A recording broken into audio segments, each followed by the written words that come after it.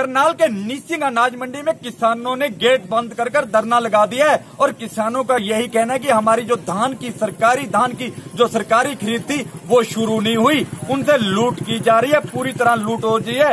नौ, उन्नीस रुपए का पर्चा काटा जा रहा है। जो जे फार्म होता है, वो काटा जा रहा है और उनको पैसे दिए जा रहे हैं। चौदह से लेकर पंद्रह सोलह सौ रूपए। और उसके साथ साथ सबसे बड़ी बात है कि बीच का पैसा कहाँ जा रहा है, किसके पास जा रहा है, उसका कोई भी किसी के पास लेना देना नहीं है। उसका नुकसान एक सरकार से वो पैसा आ जाएगा और किसान को मिलेगा नहीं। और बीच का जो पैसा है वो कहाँ जाएगा, इसके जिम्मेदार कौन है, इसको लेकर किसानों का यही कहना है कि पिछले कई दिनों से, यानी कि 4 अक्टूबर से लेकर अब तक एक क्वांटल ही धान खरीदी गई बाकी जो धान है वो 1300, 1400, 1500 रुपए में खरीदी गई है। और यहीं से ही इसी मंडी से ही पिछले कई सालों से धान के जब घोटालों की बात आई है उससे कई अधिकारी पिछले दिनों में करनाल मंडी की बात करें इंद्री मंडी की बात करें उसके बाद नीलोखेड़ी त्रावड़ी मंडी की बात करें वहाँ से जो सेक्रेटरी थे उनको सस्पेंड कर दिया गया है। लेकिन कहीं ना कहीं इस मंडी में हर बार ऐसी स्थिति देखने को मिलती है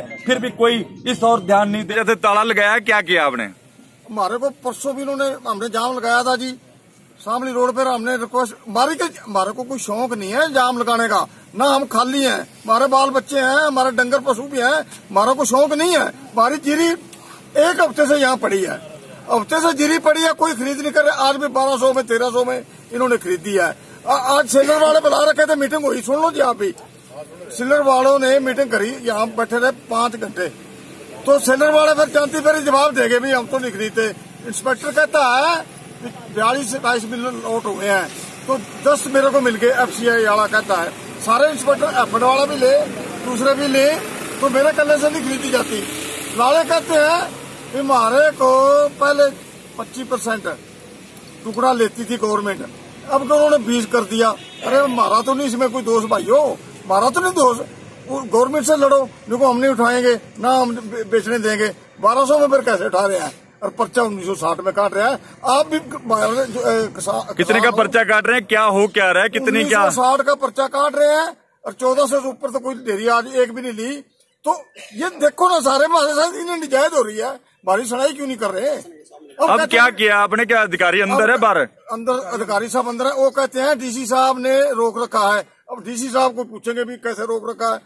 चीके की मंडी के हमने पर्चे दिखा दिए गरोंडे की मंडी के हमने पर्चे दिखा दिए पिपली की मंडी में हमने पर्चे दिखा दिए संत के पर्चे दिखा दिए ये जुंडले के बैठे हैं भाई जुंडले के हमने दिखा दिए तरोड़ी के हमने दिखा दिए उन्नीस सौ साठ में खरीद कर रहे इन्होंने कुल दो सौ पचपन परसों की। ये दो सौ पचपन से इतनी बड़ी लाखों क्वांटल पड़ी है तो दो सौ पचपन में क्या हो जाएगा सर? बताओ किसान किधर क्या अधिकारियों को बंधक बनाया क्या किया गया हमने तीन तारीख को मुख्यमंत्री जी ने कहा था कि एमएसपी पे एक एक दाना खरीदा जाएगा। लेकिन आज छह तारीख हो गई अभी तक सरकार ने यहाँ पर उनको सेलर मिलरों को भी अलाटमेंट नहीं की है। और निशंक मंडी के अंदर इतनी बड़ी लूट हो रही है कि प्राइवेट सेलर वाले लूट कर रहे हैं। उन्नीस का रेट होने के बावजूद वो 1200, 1300, 1400 तक जीरी खरीद रहे हैं। किसानों के साथ बहुत बड़ा धोखा हो रहा है और किसानों को लूटा जा रहा है और सरकार जानबूझ के किसानों को लुटवा रही है। और हम इसका विरोध करते हुए आज हमने जो मंडी कार्यालय है उसके बाहर धरना रखा है। जब तक ये हमारी मांगे पूरी नहीं होती अधिकारी अंदर हैं?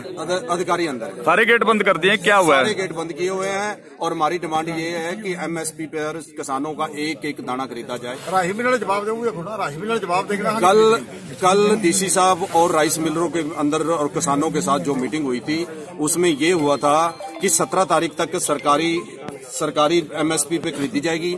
और उसके बाद जो भी जो भी दान होगा 22 तक हम उस पे पर पर पर परसेंट बीस रुपए की कटौती करके खरीदेंगे। लेकिन यहाँ आज जो 22 21 22 मोचर की जो जरी थी वो चौदह सौ रुपए में पंद्रह सौ रुपए में खरीदी गई है। ये सरकार किसानों के साथ बहुत भारी लूट हो रही है और कौन लूट का जिम्मेदार कौन है? इसमें लूट में कौन का जिम्मेवार सरकार है और उसके जो उसके मिली वक्त चल रही है महकमे की सेक्रेटरी की और राइस मिलरों की उनकी उनकी है। और हम ये हमारी ये डिमांड है कि जिस रेट में आपने खरीदी है उसी डिमांड में हमारे को जे फार्म नहीं उतरेगी जे फार्म ये पूरे का दे रहे हैं और जीरी को ये दिखा रहे हैं कि हमने बहुत ज़्यादा खरीद कर ली लेकिन खरीद प्राइवेट मिल सेलर सस्ते में खरीद रहा है और उसका पर्चा जो है जो जे फार्म है उसका पूरे का दिखा रहा है। ये किसानों के साथ बहुत बड़ा धोखा है और किसानों को लूटा जा रहा है शरेआम लूटा जा रहा है दिन में लूटा जा रहा है। ना ये इसलिए लगाया अभी कल जीरी वैसे तो ना लेनी थी ये अपनी पहली तारीख को बोली पे। फिर इन्होंने ग्यारह कर दी। फिर दो तारीख को फैसला हो गया। डीसी साहब ने कहा अभी करनाल बाईस मुक्तसर की जीरी भी किसानों की तोल लो। उसके बाद सारी मंडियों में तोल लग गया निसंग मंडी में तोल नहीं लगाया। लाल की रिन की कल भी हमने मीटिंग ली यहाँ सारे सेलर वाले और अड़ती और ये जो से मार्केट कमेटिंग के इसके नुमाइंदे हैं सरकार के। ये बोले भाई आज हम बीस लग खरीद लेंगे बीस मुक्तसर लगे और कल ने बाईस से ऊपर के भी खरीद लेंगे। आज इन्होंने वो भी पंद्रह कर दिया और वो बाईस तो कड़ा खरीदनी थी। छह सौ सात सौ के बट्टे में खरीदने लग रहे हैं। बट्टे का मतलब क्या है? जब पर्चा पूरे का दिया जा रहा है। वो दो नंबर का काम कर रहा है। मिली वक्त हो रही है सरकार नहीं हटती। सीधा सीधा से आवा सात सौ रुपया है दो सौ तीन सौ रुपये ये ले जाए चार सौ रुपये वो ले सरकार की तरफ़ से तो पूरे पैसे आ जाएँगे। सरकार का तो उन्नीस सौ जो साठ है उन्नीस सौ है वो आएगा। लेकिन मिलर्स और ये जो यहाँ के अधिकारी हैं उनकी मिली भगत से हो रहा है? क्या हो रहा है? ये जो से अधिकारी है नहीं। ये तो सिर्फ़ इनके एक छोटी सी हुआ है। ये तो सब इन मंत्रियों की चाल है। भी हमने इस इतनी इस कमेटी में तो इतने करोड़ रुपए चाहिए। जिम्मेदारों को लुटो डंडे मारो पीटो कुछ करो।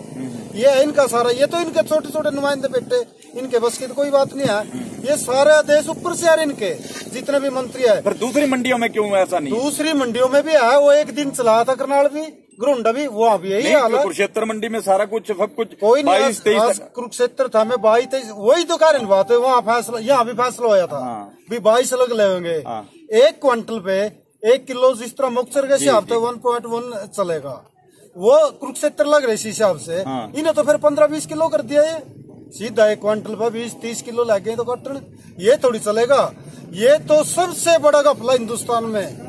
जुन सा भी है ये जीरी का घोटाला है इससे बड़ा घोटाला कोई नहीं हिंदुस्तान राणा जी लगातार हम पिछले तीन साल से देख रहे हैं तब जब से लगातार धान घोटाले सामने हैं, यहीं से धान घोटाले की शुरुआत होती है और क्यों हो रही है बार बार ऐसा क्यों हो रहा है बार बार तो ये रहा अभी किसान ये अपना एक इकट्ठा नहीं हो रहा है आपके किसान ये थोड़े बहुत इकट्ठे हो दस परसेंट।